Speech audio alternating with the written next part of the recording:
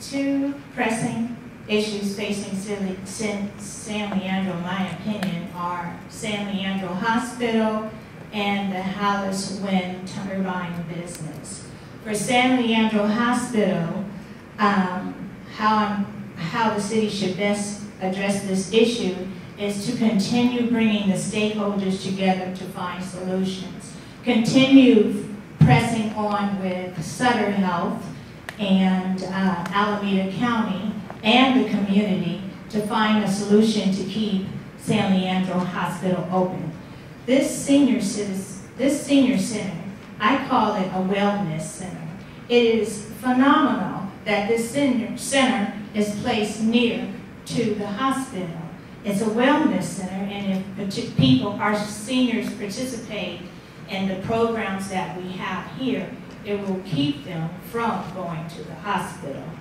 As for wind, Palace wind turbines, address the concerns expediently, be a more responsive government, and be willing to negotiate. I received the Sierra Club endorsement because they felt I have a good handle on protecting our environment. What we can't do is afford to let innovative businesses with the potential to create local jobs slip through our fingers. Thank you. I'm glad my opponent agreed with my opening statement that San Leandro Hospital is a priority. And as long as there's an opportunity to save the hospital, then we absolutely need to work in that direction. Sutter is holding all the cards, but there are talks with, with different groups. Now they're talking about trilateral agreements. As long as there's an opportunity to save the hospital, we need to continue to fight to do so. But the biggest issue facing the city right now has to do with our fiscal sustainability. It's an issue that our new mayor was elected on, that the populace of San Leandro has said we must address, and that's pensions.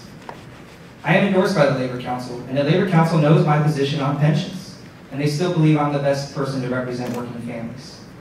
But our pension system is unsustainable. San Leandro's pension system is different than all the other jurisdictions in Alameda in that we pay our full employee pension costs. We need to negotiate a settlement with our, with our workers that's still fair for them, still provides some competitive advantage over other cities and jurisdictions to retain the talent we need, but that puts us on a path to sustainability. We cannot improve our parks. We cannot hire new police officers. We cannot improve city services unless we get our fiscal house in order.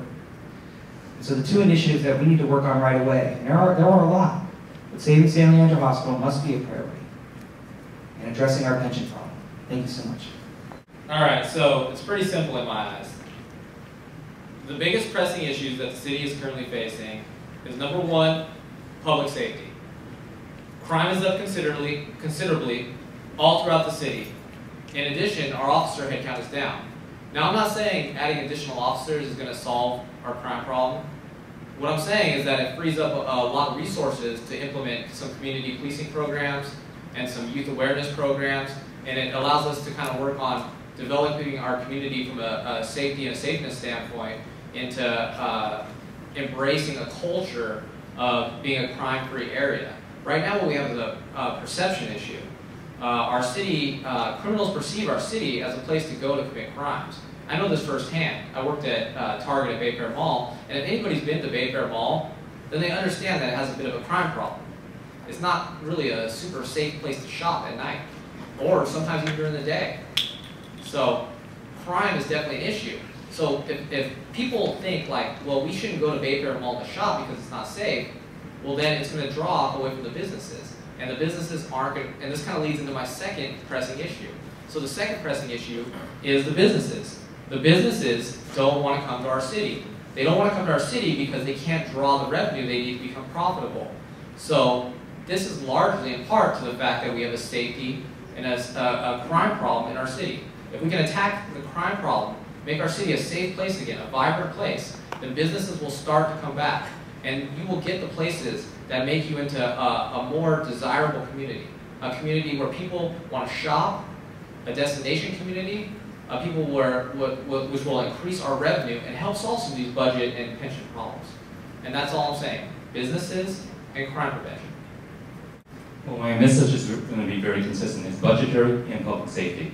Budgetary because of the fact that we have to take a look at our budgets and see what we can look into to see where we're inefficient and where we can be more efficient. There are some areas that we need to cut, balance that, to try to balance the budget. Other areas is how we can, how we can generate more revenue. Revenue is really the key to helping our city. If we can bring in the attractive businesses, expand the shopping and retail, that's going to help raise uh, the revenue, raise the, the property taxes, as well as bring into the general fund. The public safety aspect, what's key is community part, uh, partnership. One of the things that we've done in our HOA is that we partner with the police. We have community watch where we have a, a patrol actually looking throughout our community, and actually that has helped us reduce our, our crime rate. We don't have like a little flashing light that goes around. Actually, the community patrol just drives around and actually looks for troublemakers and actually stop, stop those problems dead on. We call the police, we partner with the police, actually save the police resource time as a result of that. And that's how we can have police actually have more resources to dedicate more to the city. Thanks.